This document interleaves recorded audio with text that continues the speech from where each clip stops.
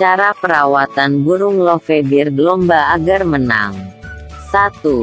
Jam 5 pagi Burung lovebird diembunkan seperti biasa 2. Jam 6 pagi sangkar lovebird dibersihkan dan diberi pakan lomba atau suplemen lovebird lengkap dengan milet putih dan air putih.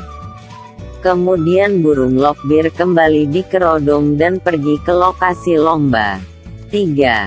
Sesampainya di lokasi lomba, pilihlah lokasi yang paling sejuk seperti di bawah pohon dan yang terpenting tidak ada lovebird lain, tapi lovebird tetap dikerodong. Tujuannya agar lovebird tidak terpancing birahinya, dan tidak ngekek sebelum digantang. Kalau sudah ngekek duluan, energinya terbuang sia-sia. Gembos, cepat lelah. Dan percuma karena suara ngekeknya tidak dinilai. 4. Saat waktu gantang tiba, lakukan seperti biasa, lepas cepuk pakan dan minum. Setelah selesai gantang, Lokbir paud langsung disemprot halus, kemudian diangin-anginkan sampai bulunya mengering. Jangan lupa berikan pakan dan minum lagi untuk menambah energi.